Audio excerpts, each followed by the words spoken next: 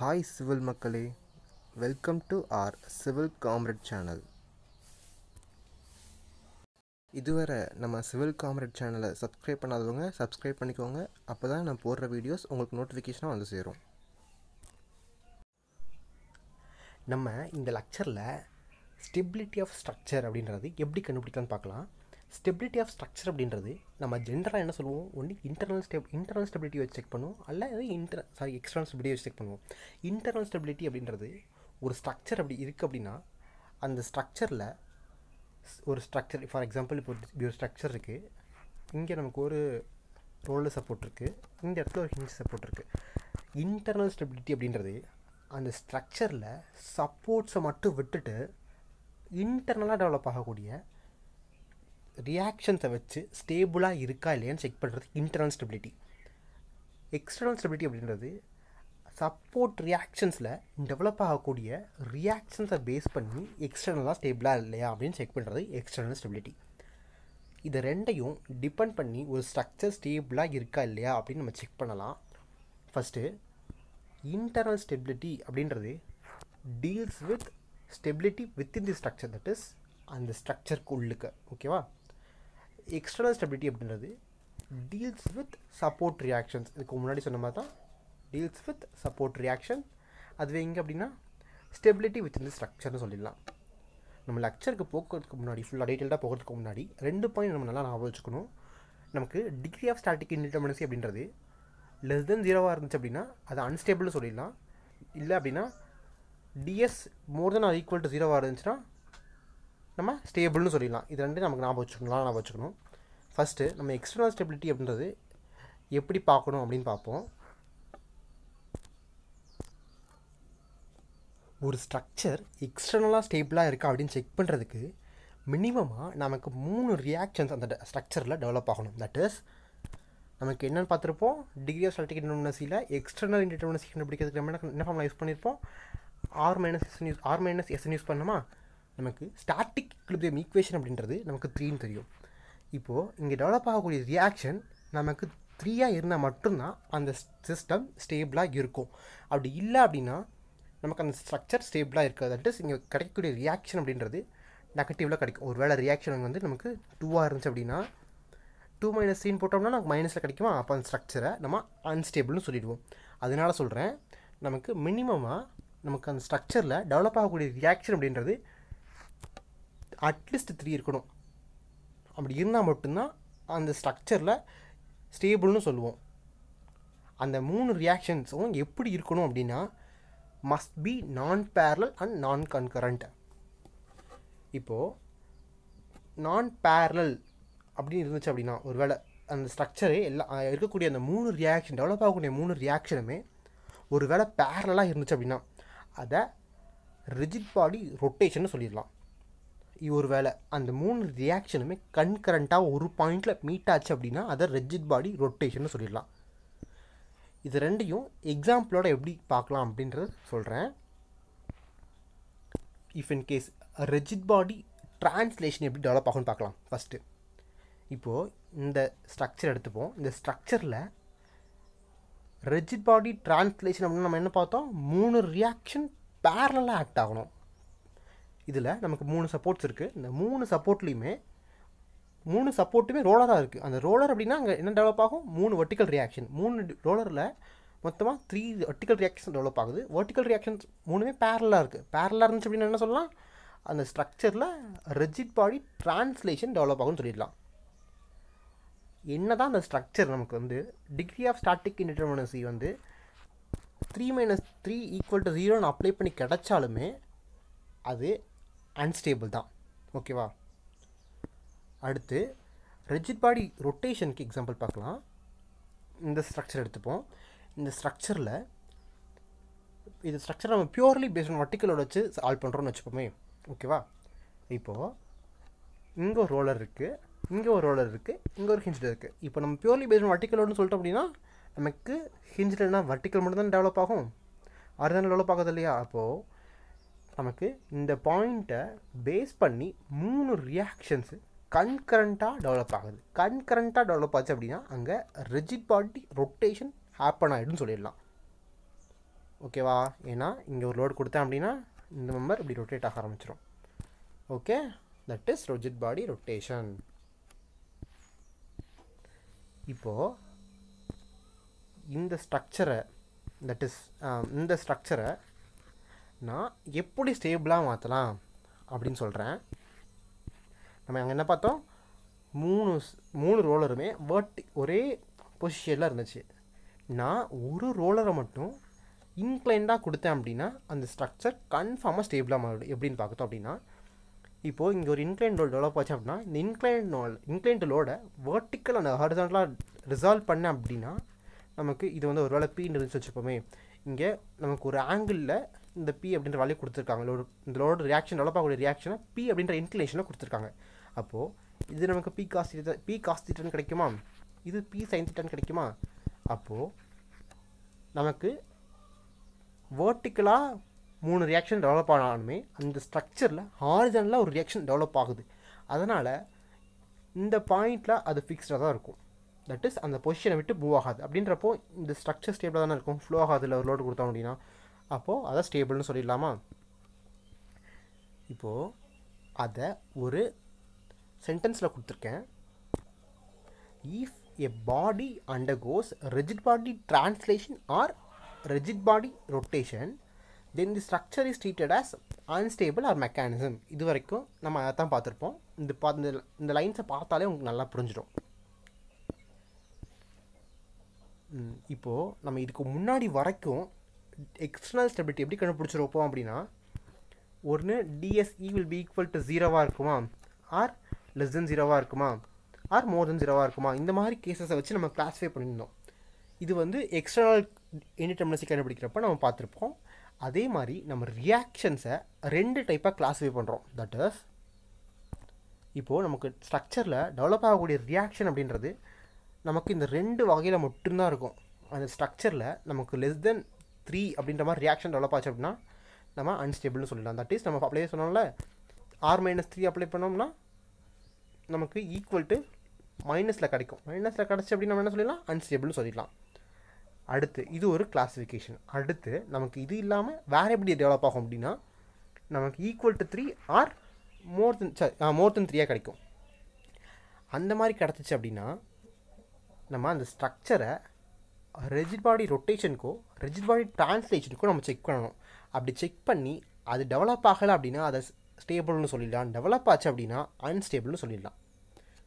இப்போது இந்த மாதிரி ரெஜிட் பாடி ரொட்டேஷனோ ரெஜிட் பாடி டிரான்ஸ்லேஷனும் அந்த ஸ்ட்ரக்சரில் டெவலப் ஆச்சு அப்படின்னா அதை ஜாமெட்ரிக்கலி அன்ஸ்டேபிள் ஸ்ட்ரக்சர்னு சொல்லலாம். இந்த ரியாக்ஷன்ஸை டிபெண்ட் பண்ணி சொன்னோம் அப்படின்னா நம்ம ஸ்டாட்டிக்கலி அன்ஸ்டேபிள்னு சொல்லிடலாம். தட் இஸ் ரியாக்ஷன்ஸை அந்த ஸ்ட்ரக்சரை டெவலப் ஆகக்கூடிய ரியாக்ஷன்ஸை டிபெண்ட் பண்ணி சொன்னோம் அப்படின்னா அதை வந்து ஸ்டாட்டிக்லி அன்ஸ்டேபிள் அதுவே rigid body rotation and rigid body translation depend பண்ணி சொன்னோம் அப்படின்னா ஜாமெட்ரிக்கலி அன்ஸ்டேபிள் எக்ஸாம்பிள்ஸ் பார்க்க ஆரம்பிச்சிடலாம். ஃபஸ்ட் எக்ஸாம்பிள் நமக்கு ரெண்டுமே ரோலர் சப்போர்ட்டாக இருக்குது டோட்டலாக நமக்கு டூ ரியாக்ஷன் டெவலப் ஆகும். Reaction equal to two static equilibrium equation equal to three அப்போது இது அப்ளை பண்ணோம் அப்படின்னு நமக்கு என்ன கிடைக்கும்? மைனஸ் ஒன் கிடைக்கும். மைனஸ் ஒன் கிடைச்சா நம்ம கண்ணை மட்டும் சொல்லிடலாம். என்னென்னா ஸ்டாட்டிக்கலி அன்ஸ்டேபிள் சொல்லிடலாம். நம்ம அப்ளை பார்த்தோம்.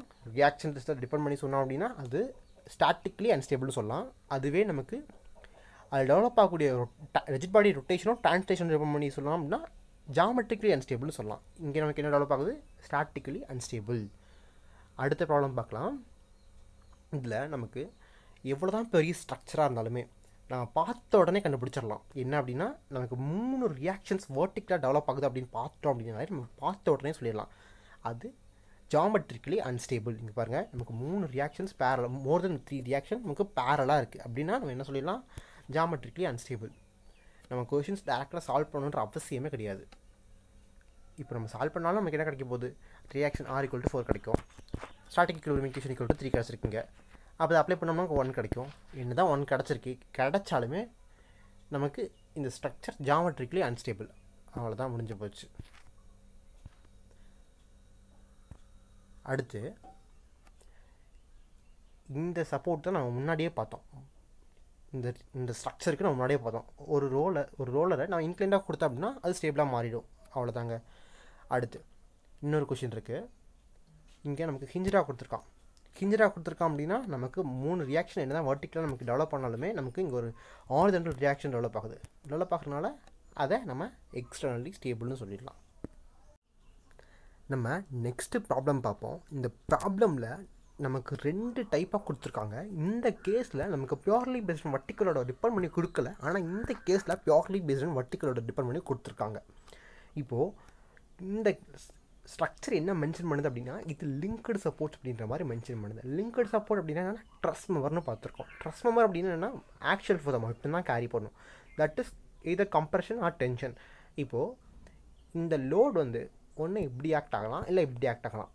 எப்படி act ஆனுமே which is parallel vertical reaction parallel reactions பேரலாக ஆக்ட் ஆச்சு அப்படின்னா அங்கே ரெஜிட் பாடி ட்ரான்ஸ்லேஷன் டெவலப் ஆகும். அப்படின்னா அந்த ஸ்ட்ரக்சரை ஜாமெட்ரிக்கலி அன்ஸ்டேபிள் ஸ்ட்ரக்சர்னு சொல்லிடலாம். இங்கே பியூர்லி பேசுகிற வட்டிக்கல் அப்படின்னு கொடுத்துட்டோம் அப்படின்னா இப்போது இங்கே நம்ம டிஎஸ் சால்வ் பண்ணுறப்போ நமக்கு ஆர்தானல் ரியாக்ஷனையும் ஸ்டாட்டிக் equilibrium ஈக்குவேஷனையும் நம்ம நெக்லெக்ட் பண்ணிட்டோம் அப்படின்னா நமக்கு டிஎஸ் ஒன் கிடைக்கும். அப்படி ஒன் கிடச்சிச்சு அப்படின்னா அந்த ஸ்ட்ரக்சரை இன்டிட்டர்மினேட் ஸ்ட்ரக்சர்னு சொல்லிடலாம். இங்கே வந்து நமக்கு vertical load purely based vertical load இங்கே டெவலப் ஆகிறனால இந்த ஸ்ட்ரக்சரை ஸ்டேபிள்னு சொல்லிடலாம். நமக்கு எக்ஸாம்ஸில் ஒரு சில டைமில் indeterminate with one degree or two டிகிரின்னு கொடுத்துருப்பாங்க. இதே நம்ம அந்த டிஎஸ் அப்படின்றது நமக்கு எவ்வளோ கிடைக்குதோ அந்த மாதிரி எழுதுறது தான் indeterminate with one degree or two degree இந்த மாதிரி மென்ஷன் பண்ணுறோம் நெக்ஸ்ட் ப்ராப்ளம் பார்க்கலாம். இந்த ப்ராப்ளமில் நமக்கு ஹிஞ்சு சப்போர்ட் இருக்குது ஒரு ரோலர் சப்போர்ட் இருக்குது இந்த ஹிஞ்சு சப்போர்ட்டில் நமக்கு ரெண்டு ரியாக்ஷன்ஸ் டெவலப் ஆகும். That is vertical and horizontal மொத்தமாக ரெண்டு ரியாக்ஷன்ஸ் இங்கே ரோலர் ஒன்று இருக்குது இந்த ரோலரில் நமக்கு ஒரு ரியாக்ஷன் டெவலப் ஆகும். இப்போது இந்த ரியாக்ஷன்ஸ் எல்லாமே ஒரு பாயிண்டில் மீட் ஆச்சு மீட் ஆகுது அப்படின்னா அந்த மெம்பரை கன்கரண்ட்னு சொல்லுவோமா? அப்போ கன்கரண்ட்டாக இருந்துச்சு அப்படின்னா ஜாமெட்ரிக்கலி அன்ஸ்டேபிள்னு சொல்லி முடிச்சிடலாம். எவ்வளோ பெரிய ஸ்ட்ரக்சராக இருந்தாலுமே ஒரு பாயிண்டில் அதோட ஃபோர்ஸஸ் மீட் ஆச்சு அப்படின்னா கன்கரண்ட் அப்படின்றத டிபெண்ட் பண்ணி ஜாமெட்ரிக்லி அன்ஸ்டேபிள்னு முடிச்சிடலாம். இதே மாதிரி நமக்கு ரெண்டு ப்ராப்ளம் பார்ப்போம். அது ரெண்டுமே ரொம்ப ஈஸியாக சால்வ் பண்ணிடலாம். எப்படி அப்படின்னா இந்த ப்ராப்ளம் பார்த்திங்க அப்படின்னாலுமே நமக்கு இந்த ஒரு பாயிண்ட்டை டிபெண்ட் பண்ணி நமக்கு மூணு ரியாக்ஷன்ஸ் கன்கரண்ட்டாக டெவலப் ஆகுது. தட் இஸ் ஜாமெட்ரிக்லி அன்ஸ்டேபிள் பார்த்த உடனே சொல்லிடலாம். நமக்கு கேல்குலேஷன்றதுக்கு போகவே தேவையில்ல. இன்னொரு ப்ராப்ளம் பார்ப்போம்.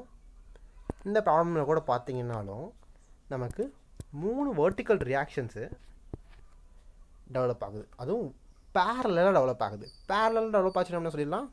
ரிஜிட் பாடி டிரான்ஸ்லேஷன் அப்படின்னா ஜாமெட்ரிக்கலி அன்ஸ்டேபிள் ஸ்ட்ரக்சர் அவ்வளோதான் பார்த்த உடனே முடிச்சாச்சு கொஷினை அடுத்து இன்டர்னல் ஸ்டெபிலிட்டி பற்றி பார்ப்போம். எக்ஸ்டர்னல் ஸ்டெபிலிட்டி அப்படின்றது எக்ஸ்டர்னலாக சப்போர்ட் ரியாக்ஷன் டெவலப் ஆகிறத வச்சு rigid body rotation and rigid body translation அது டெவலப் ஆகிறத வச்சு நம்ம இன் சாரி எக்ஸ்டர்னலி ஸ்டேபிளாக இருக்கான்னு பார்த்து முடித்தோம் அடுத்து இன்டர்னல் ஸ்டெபிலிட்டி அப்படின்றது அதே கேசஸ் தான் என்ன அப்படின்னா ரெஜிட் பாடி ரொட்டேஷனா ஆர் ரெஜிட் பாடி டிரான்ஸ்லேஷனோ அது இன்டர்னலாக டெவலப் ஆகுது இல்லைன்னு பார்ப்போம்.